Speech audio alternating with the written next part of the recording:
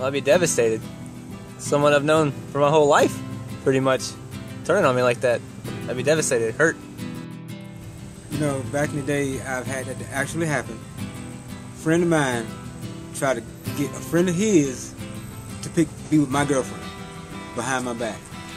Want to you want to say you'll forgive them because you know them, but if they turn their back on you, do you really know them?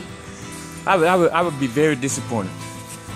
Long story short, we're not friends anymore, and I can't say what happened, but we're not friends anymore. It hurt, but it also hurt for somebody else. Your best friend is supposed to turn their back on you. You know, best friends fight, best friends argue, uh, best friends have disagreements, best friends don't always see eye to eye. But to completely turn his back on me, I can't imagine that. I Guess it also depends on, you know, the degree that they like did they just turn their back on you did they stab you in the back? Did they did they undermine you? Like what was it? So I can't really say what I would do, but I know I'd be hurt regardless.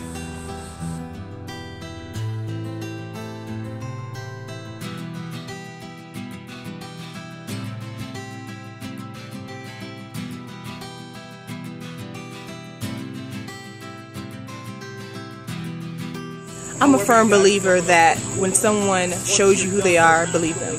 And um, if a friend was to turn their back on me, I would take it for what it is, take it as a lesson learned, and move forward. I would try to get closure and find out the disconnect and find out what went wrong, but ultimately, if I couldn't, I would just have to find a way to move on. So the question at hand is how do you feel when a friend turns their back on you? It would suck if a friend turns his back on me. So we're gonna bypass all the questions about how close and we're gonna go straight for the kill zone. Say if one of those friends that was close as a brother to you turns their back. It's an entirely different dichotomy because it stabs deep, but it rips out the heartstrings even more because every bit of time, sweat, and tears that that person has been by your side intensifies the rage and anger behind this betrayal.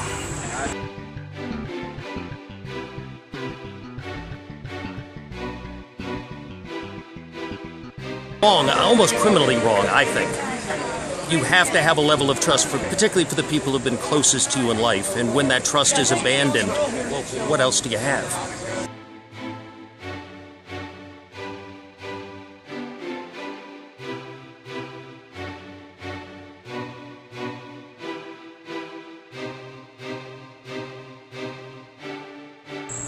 Betrayed.